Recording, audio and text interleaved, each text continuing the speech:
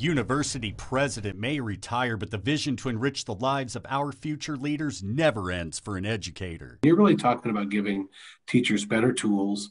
Um, and students really a better experience. Foster's now the co chair of the Citizens for School District 51, a campaign aimed at an issue defying all political categories, replacing the Grand Junction High School and renovating the East Gym and Art Building. Knocking on doors, it's calling people it's sending them uh, material, all those sorts of things that you do in a normal campaign. He's not the only one wanting to invest in education. The District 51 School Board forwarded the $115 million bonded tax measure on the November 2nd ballot. Roads are important, sewers important, all that infrastructure, but human infrastructure is the most important. And so educating our kids in this community at a high level is is the number one goal in my mind. Two questions have to be answered before the 65 year old high school is replaced.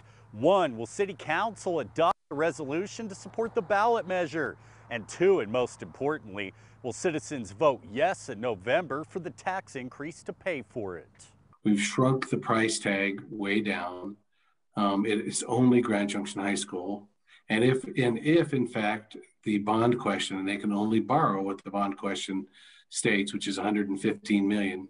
If the school costs less than that, then any of those proceeds go back to reducing the balance on the bonds. First on the Western Slope, I'm Rob Hagan with KREX 5 News.